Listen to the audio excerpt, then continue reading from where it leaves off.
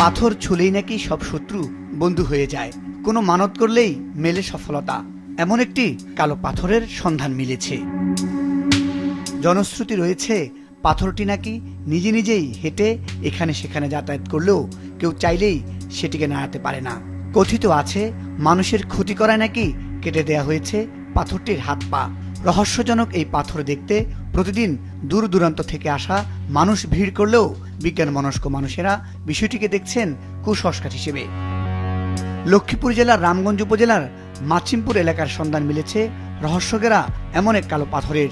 কেউ নিজ চোখে না দেখলেও তারা বলছেন, পাথরটি নিজে নিজে হেঁটে এক স্থান থেকে অন্য স্থানে যেতে পারত। তাদের ধারণা, এই পাথর ছুলেই সব শত্রু বন্ধু হয়ে যায়। আর বিভিন্ন মানত করলে সুফল পায় মানুষ। এমন উপকার পেয়েছেন বলেও জানান অনেকে। স্থানীয় নাগের দিঘি থেকে ওঠা পাথরটি এখনও রয়েছে সেখানে। রয়েছে সেই রহস্য ঘেরা নাগের দিঘিটিও। বলা হচ্ছে উনিশশো উনসত্তর সালের দিকে নাগের দিঘিতে দুটি কালো পাথর ছিল। কুমিরের চেহারা ধারণ করে তারা পানি থেকে উঠে বিভিন্ন স্থানে চলাফেরা করত। গ্রামে গ্রামে কখনো স্থানীয় বাজারগুলোতে হাঁটতো, আবার বিভিন্ন সময়ে মানুষের ক্ষতিও করত এসব পাথর। দিঘির পাশে মসজিদে নামাজ পড়া অবস্থায় মুসল্লিদের ক্ষতি করত তারা। একটা গর্ত ছিল গর্ত থেকে মনে হয় পড়তো মাঠের উপরে। মাঠের উপর আবার মনে হয় পুরা বাজারে হাঁটতো আর কি এই পাথরটা। অনেকে অনেক দূরের থেকে মানুষ আসি আসি চায়। আমরা শুনছি যেটা দেখি নাই ওটা কুমিরের মতন এই দুই এরা দুইজন ছিল।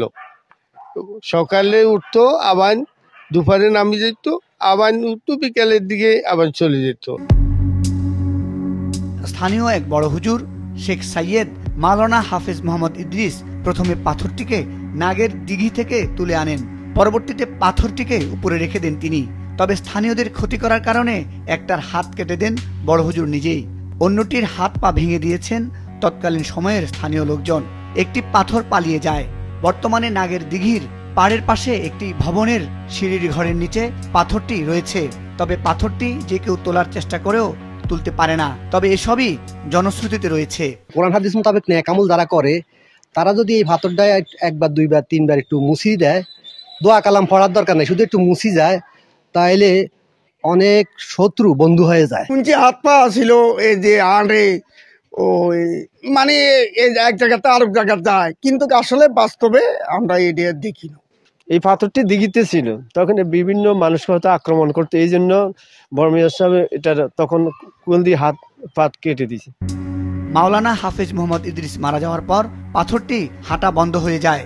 তবে পাথরটিকে ছুঁয়ে দিলে যে কারও রোগ রোগশোক ভালো হয়ে যায় বলে ধারণা করছেন এখানকার মানুষ। এমন বিশ্বাসে প্রতিদিন চাঁদপুর, নোয়াখালী ও লক্ষ্মীপুর জেলা শহর থেকে শত শত মানুষ দেখতে আসে। তবে বিষয়টিকে কীভাবে দেখছেন স্থানীয় ওলামা এবং বিজ্ঞান বনস্ক মানুষজন জানালেন সেই কথা। পাথরের কথা বলছেন এটা তো একটা জড় পদার্থ। তাহলে জড় পদার্থ সাধারণত হাঁটার কথা না বা এটি হাঁটতে পারে না। দীর্ঘদিন থেকে লোকের মুখে মুখের কথা শোনার কথা থেকে কিন্তু কেউ বাস্তবিকে দেখেছে এরকম মনে হয় কোনো প্রমাণ নেই। আমরা হজ করতে গেলে এই হাজ আমরা ইস্তিলাম করি, আমরা চুম্বন করি। এই ছাড়া পৃথিবীর আর কোনো পাথর চুমু দিলে স্বভাব হবে মানত করে নিয়ে মানত করে চুমু দেওয়া স্পর্শ করা সম্পূর্ণরূপে বেদাত এবং এ ধরনের চিন্তা লালন করা ইসলাম এবং শরীয় সম্মত নয়। নাগের বাড়ির মানুষরা বলছেন, তাদের বাপদাদারা দেখেছে পাথরটি হাঁটতে পারত, শুনেছে, তবে তারা কখনো দেখেনি। যদিও ওই পাথরটি এখনও তাদের সামনে অবস্থান করছে। Mujahid Sakib Maasranga news desk.